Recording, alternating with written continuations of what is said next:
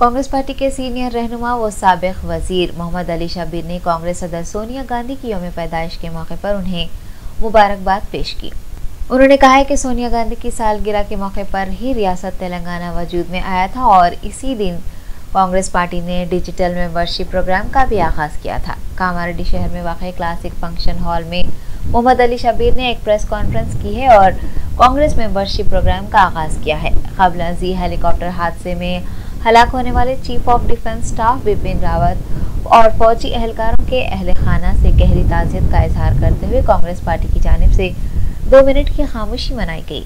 मोहम्मद अली शबीर ने बताया कि कांग्रेस सदर सोनिया गांधी ने फौजी अफसरान की शहादत के पेश नज़र अपनी सालगिरह न मनाने का फैसला किया है और गरीबों में ब्लैंकेट्स तकसीम करने का फैसला भी लिया है। कांग्रेस रहनुमा ने इस मौके पर ज़रूरतमंद अफराद में ब्लैंकेट्स की तकसीम अमल में लाई। प्रेस कॉन्फ्रेंस के दौरान सबक M L C Mohammad Ali Shabir ने मरकज़ की बीजेपी और रियासत की टी आर एस हुकूमत पर इल्ज़ाम लगाया है कि वो आवाम को गुमराह कर रहे हैं జిల్లాలో వరి పంట పెద్ద ఎత్తున వరి పంట ఒకప్పుడు మన దగ్గర చెరుకు పంట ఉండేది కానీ ప్రభుత్వం ఏమన్నారంటే మీకు కావాల్సిన ధరలు ఇస్తాము మీరు వరి పంట వేయండి అని ఇదే కేసీఆర్ గారు అసెంబ్లీలో కానీ అసెంబ్లీ బయటలో కానీ నేను కాళేశ్వరం కడుతున్నాను. సంపూర్ణ నీళ్ళు వస్తున్నది. మీరు మాత్రం మీరు వరి పంట వేయండి అన్నారు ఆయన మాట విని అందరూ గతంలో ఉన్న పంటలు మానేసుకొని ఇప్పుడు అందరూ వరికి వచ్చినారు. ఇప్పుడు వరికి రాగానే వరి పంట వద్దు. నేను కొనుగోలు చెయ్య అది రబీది. ఇప్పుడు ఖరీఫ్లో రైతులు ఎంత ఇబ్బంది చెందినారు ఇదే జిల్లాకు సంబంధించిన ముగ్గురు రైతులు ఆత్మహత్యలు చేసుకున్నారు.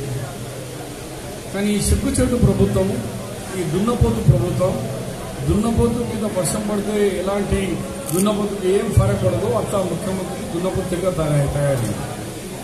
ఈ ముఖ్యమంత్రి ఈ ముగ్గురు విషయంలో చెప్తే ఇప్పటి వరకు ఎంఆర్ఓ ఓలే. మీరు చచ్చిపోయిన దాని మీద ఒకటి బాంబు చనిపోయిన నల్లమడుగు. ఎమ్మెల్యే గారి స్వల్పము వానికి ఎసిగిరేసలేదు ఐలాపూర్లో చనిపోయిన వ్యక్తికి ఆయనకు పోస్- పోలీస్ ఏమో ఆడ చనిపోయిందా వీడ అని పోస్ట్ మార్టం చేస్తున్నారు. తర్వాత ఇంకోటి ఆయన చనిపోయినాడు. నగర్ మండలం.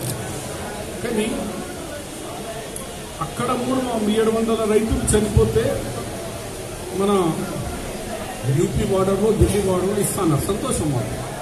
కానీ మన రాష్ట్రంలో తెలంగాణ బిడ్డలు బిడ్డలు రానియంటే రాలుతా ఉంటే నువ్వు ఒక పైసా కూడా వాళ్ళకి ఇప్పటివరకు ఇవ్వకుండా ఆడ సచ్చి నువ్వు ఎప్పుడు సచ్చినా అంటున్నారు. ఒక మంత్రి పోలే ఒక ఎమ్మెల్యే పోలే వాళ్ళు ఇచ్చారు కాబట్టి నేను మీ ద్వారా ప్రజలకు అప్పీల్ చేస్తున్నా ఇలాంటి నాయకులకు మెడలు వంచండి. మన అవసరాలకు రాని నాయకులు ఎందుకు వీలు మన అవసరాలు మనకు మన బతుకులకు కాపాడేందుకు రానప్పుడు ఎందుకు వీలు మనకు? మన పంటలకు ఖరీదు చేసేందుకు రానప్పుడు వీళ్ళు ఎందుకు మనకు? ఎందుకు సన్మానాలు వీళ్ళకు? రేవంత్ రెడ్డి గారు చలో కళ్ళం మీద వస్తే మరి ఇరవై ఇరవై దినాలు కళ్ళాల మీద ఉన్నారు. భవానీపేట పొలంచలో చూస్తే మూడు మూడు ఇంచుకి ముక్కలు వచ్చినాయి ముక్కలు వచ్చినాయి. ఇది ఎవరు బాధ్యత? ఇప్పుడు వరకు వాళ్ళకు వరకు సరిగా లేదు. ఒక క్వింటల్కు ఐదు ఐదు కిలోలు ఆరు కిలోలు కట్ చేసుకున్నారు. ఎంత బాధ పెట్టినా పాపం.